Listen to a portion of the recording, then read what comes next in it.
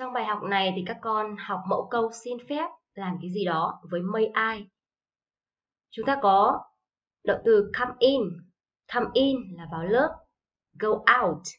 Go out là ra ngoài. Các con hãy nghe và nhắc lại cho cô nhé. May I come in, Miss Lan? Yes, you can. May I go out miss mai No, you can't. Lần nữa nào. May I come in, Miss Lan? Yes, you can. May I go out, Miss Mai? No, you can't. Em xin phép vào lớp được không cô Lan? May I come in, Miss Lan? Yes, you can. Được, em có thể. May I go out, Miss Mai? Em xin phép ra ngoài được không cô Mai? No, you can't. Không, em không thể. Bây giờ đến lượt các con đọc lại cho cô hội thoại này nào. Rồi, phần này thì các con hãy làm ra vở nhá. Các con hãy đọc và xem là những câu xin phép này nó tương ứng bức tranh nào thì các con hãy nối. Các con viết ra vở ô cho cô nhá. Phần 3 này là point and say, chúng ta sẽ cùng luyện tập với mấy ai thì các con hãy đọc lại cho cô cái những cái hội thoại này bốn cái hội thoại này nhá. May I go out? Yes, you can. May I come in? Yes, you can. May I, may I close the book? No, you can't. May I open the book? Yes, you can. Các bạn chú ý là nếu như câu mệnh lệnh yêu cầu ai đó mở sách thì là open your book. Hoặc là gặp yêu cầu một người khác đóng sách lại thì là close your book. Như bài học trước chúng ta vừa học, câu mệnh lệnh trong lớp học đấy.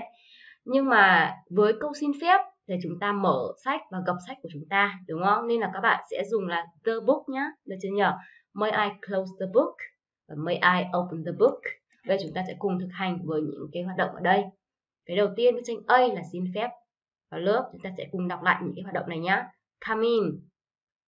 Come in. Go out. Go out.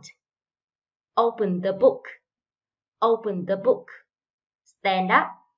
Stand up. À bây giờ các bạn sẽ cùng thực hành nhé, cùng nhắc lại câu hỏi và câu trả lời cho cô nào. Đầu tiên, à với may I cộng với cái hoạt động ở đây, à xin phép vào lớp. May I come in? May I come in? Và cô giáo trả lời là yes thì các bạn trả lời đầy đủ là yes you can. Yes you can. Bức tranh B nào? À trong may I đằng trước go out các bạn đặt câu hỏi cho cô nào. May I go out? May I go out? Cô trả lời là Yes, you can. Tương tự như vậy, với tranh sĩ May I open the book? May I open the book? Cô giáo trả lời là no. Trả lời đầy đủ là no, you can't. No, you can't.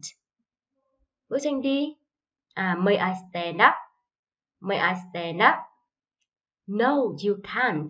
Bây giờ các bạn sẽ đóng vai học sinh và cô sẽ đóng vai giáo viên nhé. Các bạn uh, xin phép cho cô nào, với mấy ai vậy những cái những hoạt động ở đây nào? Đúng rồi may I come in. Cô sẽ trả lời là, yes, you can. Yes, you can. No, you can't. No, you can't. Bây giờ đổi lại, các bạn sẽ đóng vai giáo viên nhá, và cô sẽ đóng vai học sinh này. May I come in? Các bạn trả lời cho cô nào. May I go out? May I open the book? May I stand up? Rồi, các bạn sẽ luyện tập và các bạn sẽ viết từ mới cho cô nhé.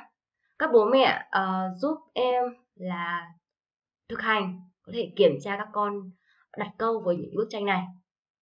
Rồi, goodbye. See you.